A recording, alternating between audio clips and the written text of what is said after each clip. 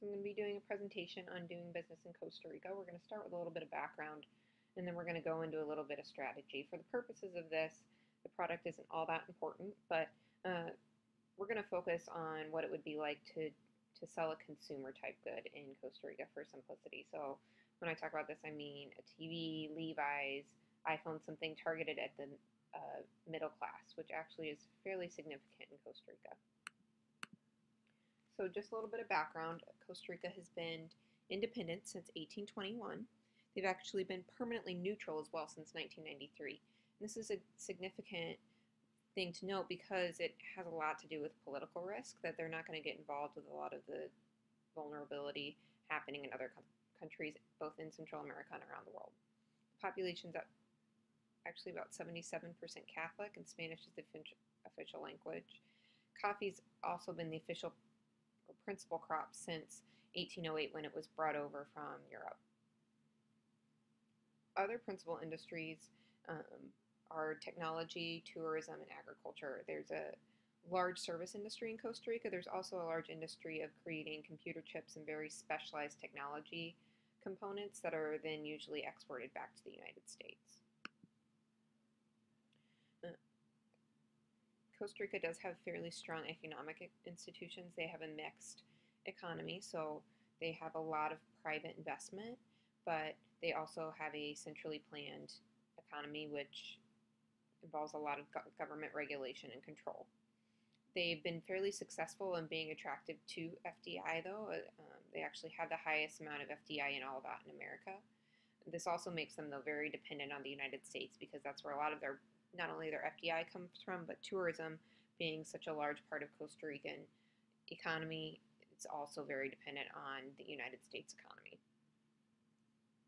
Legal institutions are not quite as advanced in Costa Rica as the economic institutions might be. Uh, they're actually ranked lower than 100 in all these below areas, so resolving insolvency, enforcing contracts, um, paying taxes, protecting investors, starting a business. These are all things that um, if you actually are going to have some sort of actual FDI or uh, actual operations in Costa Rica, it's going to affect your day-to-day doing businesses and it's going to make it more difficult than it would in you know more than 100 countries around the world, which is something to certainly be um, thought about before going into a country. The political institutions, though, actually um, have a lot less risk than most countries around the world.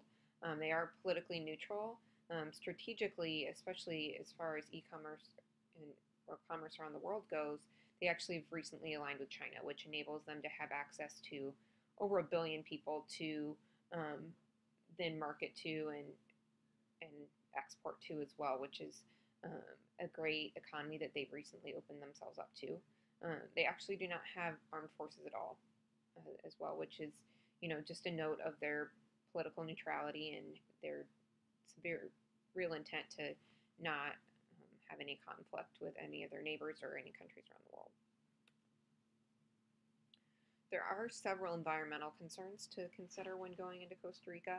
Uh, there is a high risk of natural natural disaster. They have um, coasts on both sides of the country, and they're very susceptible to hurricane season. Um, also, more than 25% of the land is protected. So, being a small country with one fourth of the land being actually protected rainforest, um, finding um, land and real estate is something to be of noted. They're also, as of 2007, have a goal of being the first carbon neutral country. So, this is um, going to be a significant aspect of any company trying to be involved with Costa Rica because there's going to be green concerns and the expectation that the company is going to do the right thing by the environment. And sometimes this can add extra costs versus other countries that have less strict regulations regarding the environment. So the Hofstede Index compared to the United States is a really great gauge of kind of the cultural differences between Costa Rica and the United States. Um, we all know that individualism is very high in the United States. Um, it's actually very low in Costa Rica, which, while common for Latin American countries, it's actually extremely low. in Costa Rica. This means that if you're going to actually set up shop in Costa Rica, you're going to have to be very conscious of the fact that you are most likely going to have to change your reward structure, um, the way people are recognized. A lot of things about corporate cultures that um, drive things in the United States are going to have to be very different in Costa Rica. Also, masculinity index is also significantly lower in Costa Rica. This is um, probably in large part due to the fact that Costa Rica does have a very laid back culture. They like to be very much in touch with nature, the environment, as well as um, each other and their family. So the gender, very specific roles are going to be different, and work life balance is going to be something that's much more valued in Costa Rica perhaps than United States. So if you're going to employ people there or even, you know, market to uh, the consumer there, you're going to have to keep in mind that Costa Ricans are going to value their time with their family, um, being in touch with the environment much more than they might necessarily value um, their job or workplace. Also, uncertainty avoidance is a little bit higher. They are you know, a fairly recently stable com- country, and they have done an excellent job of advancing the, both education and the economy but they are going to want to avoid uncertainty in the near future um, more than the United States. This probably is not as significant as, say, the individualism difference. However, it is something that um, before doing business there, you're going to want to make sure any client or other organization that you're doing business with is very certain in the next steps and going forward. Um, any hard selling is going to be very discouraged in Costa Rica and probably going to turn people off a lot. as a, so that was a little bit about uh, Costa Rica as an individual country. Um, they also should be noted that they do fall under the Latin American Globe Study cluster. So this is, means that um, they do vary um, from the United States, even though that they aren't that far away. They are going to value um, community more, as we noted in individualism and um, are going to have some similarities if you already do have existing infrastructure in Mexico or the rest of Latin America. You'll probably want to bring in um, advisors from those operations because they will have a better, more similar cultural outlook than, say, somebody from the United States. Um, other cultural aspects kind of unique to Costa Rica. Um, they have one of the highest life expectancies of any country in the region. Uh, so that not only is kind of a reflection of their importance that they place on health and the environment, um, but also it's going to be taxing on their social social structures. So that's something to keep in mind in looking at the tax structure as well. Also, they do have a little bit of a different outlook on time than the United States. In social environments, it's not uncommon for people to be 15, 20 minutes late.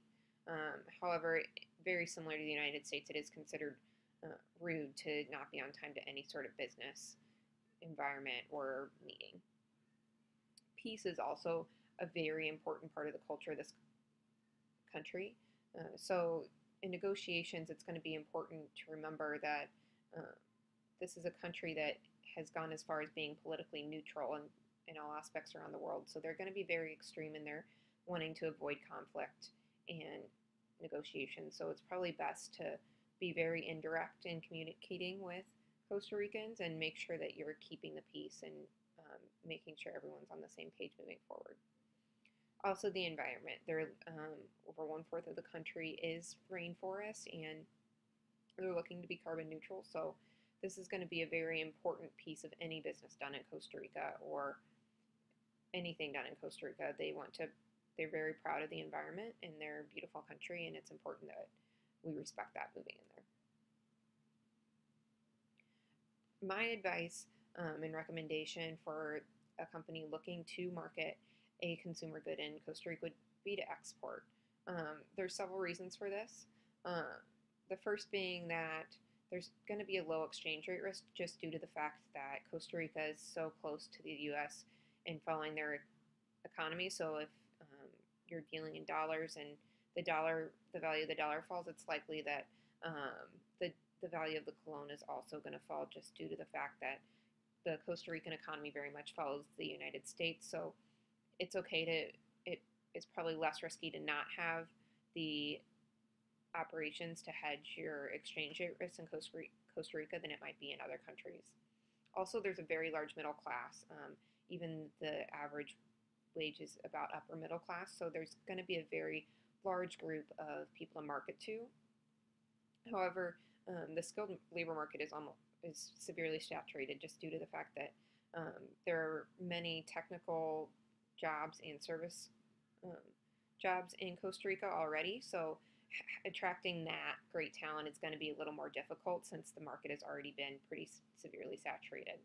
Uh, in addition, tourism is a huge part of Costa Rica, and what that means for exporting is that um, a lot of these people that are working in these service industries are dealing with tourists on a daily basis.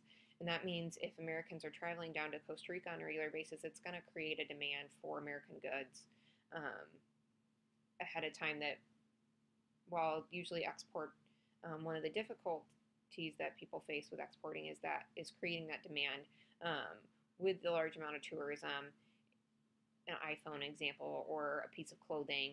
Uh, Costa Ricans are going to see that, and eventually there's going to be a demand for those American products.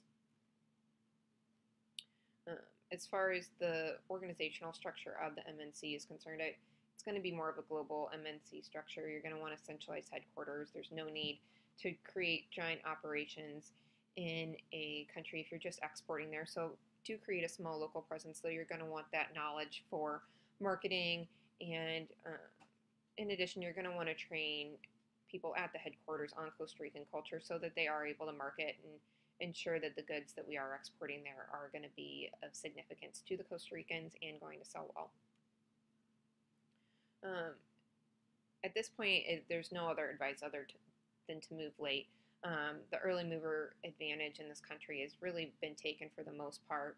Um, they have already been saturated with a very skilled workforce, and um, I think at this point it's best to just learn from what other companies who've expanded to, to Costa Rica have done um, and learn from their mistakes and, and let that tourism and the starting of the importing of the American culture from companies like IBM who are having computer chips built here and things of that nature build demand for the product um, so that we as a company do not have to actually create that demand moving forward.